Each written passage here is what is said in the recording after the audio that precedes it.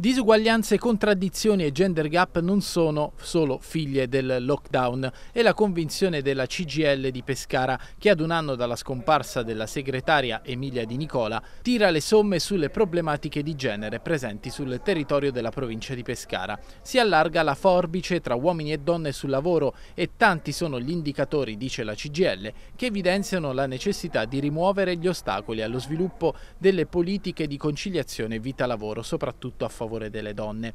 Dall'analisi svolta a campione rispetto agli utenti che si sono rivolti al patronato Inca CGL di Pescara, quasi la totalità delle domande di congedo parentale, il 98% di 600 pratiche, sono riconducibili alle lavoratrici madri che hanno scelto di farsi da parte e farsi quindi carico esclusivamente del lavoro di cura e assistenza familiare. Anche la politica dei bonus, continua la CGL, si è rivelata insufficiente. Solo 187 donne hanno scelto in piena pandemia di richiedere il bonus babysitter, la misura alternativa al congedo parentale. Le problematiche poi legate al turismo e alla contrazione dei servizi connessi ha fatto sì che molte donne abbiano pagato un prezzo alto rispetto alla pandemia.